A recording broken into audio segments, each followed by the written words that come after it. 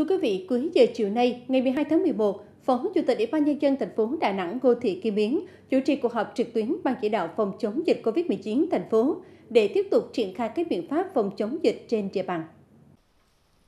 Theo đánh giá của CDC Đà Nẵng, những ngày qua, tuy số ca dương tính mới trên địa bàn chiếm tỷ lệ nhỏ trên tổng dân số, nhưng sự xuất hiện liên tiếp các ca cộng đồng cho thấy dịch bệnh vẫn tiềm ẩn nhiều nguy cơ, đặc biệt là tại quận Sơn Trà. Hiện nay, thành phố đang tiếp tục siết chặt kiểm soát tại các cửa ngõ ra vào thành phố, đồng thời đẩy mạnh phủ mũi 2 vaccine phòng COVID-19. Tại các quận huyện, công tác truy vết, giám sát cách ly tiếp tục được tích cực triển khai. Phát biểu tại cuộc họp, Phó Chủ tịch Ủy ban nhân dân thành phố Ngô Thị Kim Biến đề nghị trong bối cảnh tình hình dịch vẫn còn phức tạp, các đơn vị địa phương cần tiếp tục làm tốt công tác kiểm soát ở các chốt, tiếp tục kiểm soát chặt chẽ người về từ vùng dịch, đồng thời nhấn mạnh hiện nay, việc thực hiện tốt 5K vẫn là giải pháp căn cơ để ngăn ngừa sự lây lan dịch bệnh trên địa bàn.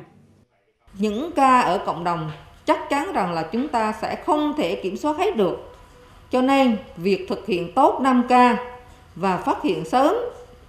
những ca mắc ở cộng đồng